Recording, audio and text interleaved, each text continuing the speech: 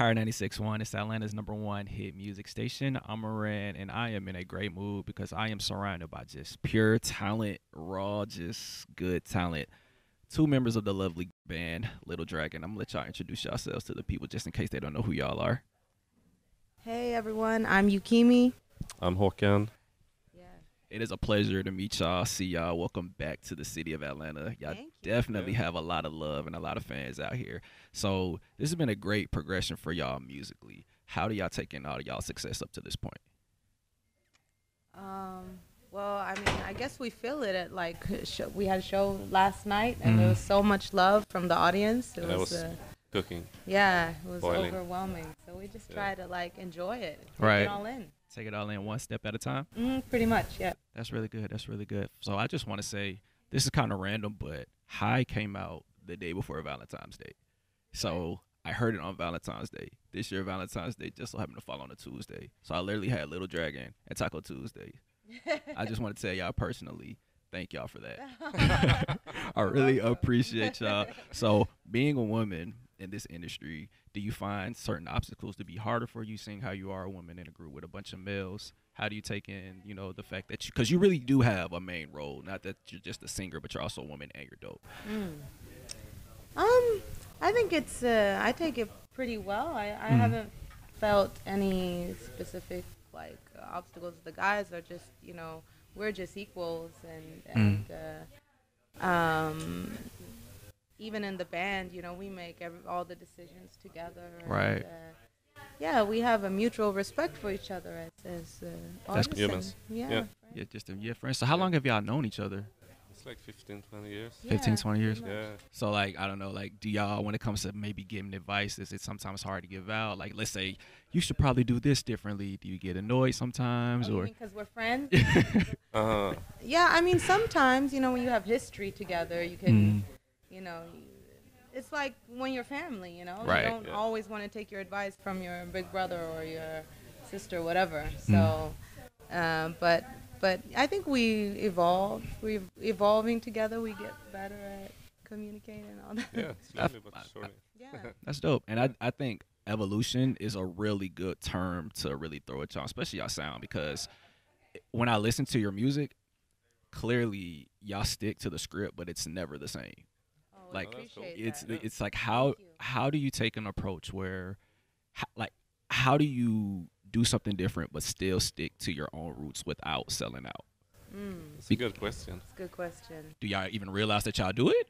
I mean, we try, you know. Mhm. So it's good to hear it from you, for example. But Yeah, yeah, yeah. Uh, yeah, I think I think one of the tricks is you know staying out of your comfort zone. You Mm. know, uh, when you're creating, trying new stuff. Um, sometimes it feels good to just create and not think about that and do Yeah, what yeah, you yeah. always do. But That's real. um, So what is your creative process like? Do y'all just approach it? Like I just say, you know what? We're just gonna throw things at the wall and let it stick, or is there like a real like syllabi format? Like, okay, we're gonna record this day, that day, Oh, etc. no. no, it's very loose. yeah.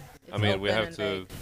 We go to the studio and then everyone's doing stuff, and uh, sometimes good stuff comes out, and then you can uh, go and listen to it, maybe take it home and write maybe some lyrics, and Right. after that process, we can kind of schedule in, or like, can't we record today? Yeah. Dope. No, we try to. It's pretty. I mean, it's both nice and sometimes uh, Frustrating. frustrating when it's Mm. so big and open. You know, it's Yeah. so free. Mm. I mean, we like it, but sometimes you know you gotta you gotta force yourself to like, okay, let's finish this song now. Understood. So what are some things as far as because you said frustrating, and there are a lot of artists who are up and coming that look up to y'all. So what is some advice that y'all would give to up and coming artists when they come across something musically that can be frustrating, Um, musically, I or mean, creative? Maybe maybe creatively. Maybe yeah, I think creatively uh, would be the I best say way. give give it some time because that's Mm. something that's been helpful for us. I think you yeah, know, like yeah, yeah, yeah. one day you love the song and then maybe the next week you hate it. Right. and sometimes you don't even vibe with the song the first moment and then you know maybe two years later you'll find it and, and want to you know you're like i don't know this this idea has something you know, it has a vibe Mm. so so i mean you don't i wouldn't recommend to wait two years but, but not not be too caught up with your feelings i guess sometimes with the i mean enjoy the moment if it's good but but Mm. if it's not the best in the world don't be hard on yourself i guess Yeah, That's that's, dope. an advice we try to give ourselves as well. Pretty much, yeah. Wow. Kinda So y'all stick to- to your own script. Yeah. Practice- practice- it's practice what y'all preach. It's a good question and a hard, hard one. That's Yeah. dope. Yes, but That's really good. So the album, Season High. What have been some season highs for y'all this year? You know, it's the summertime. Right. What have I been mean, some highs? finishing the album was definitely a high for us Mm. yeah, yeah, yeah, yeah, because definitely.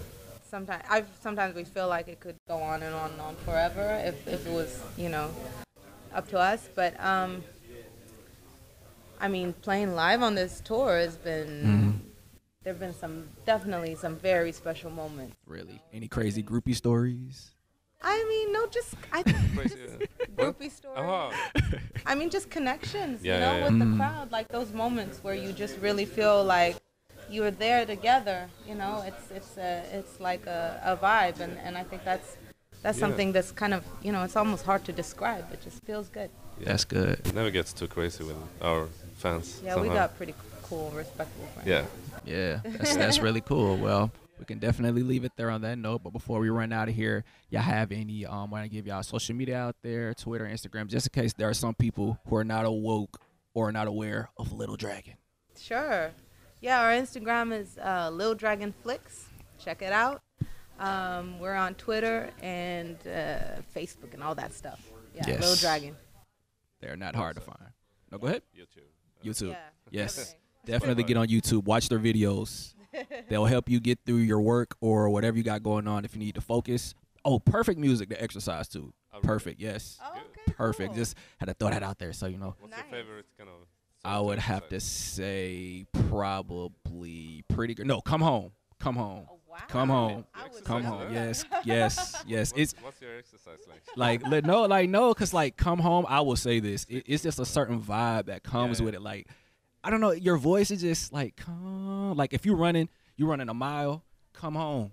Finish. Okay, wow. Come home. Good. Like you on your way. You about to run like out. a hero. Yes. Yes. So yeah, definitely. If I had to, That's cool to hear. yeah. Yeah, nice. So yeah, got some aerobic info out there, some advice for artists. It's pretty cool. Shout out to Little Dragon. I'm Moran Tha Man. Little Dragon, Power 96.1. It's a wrap.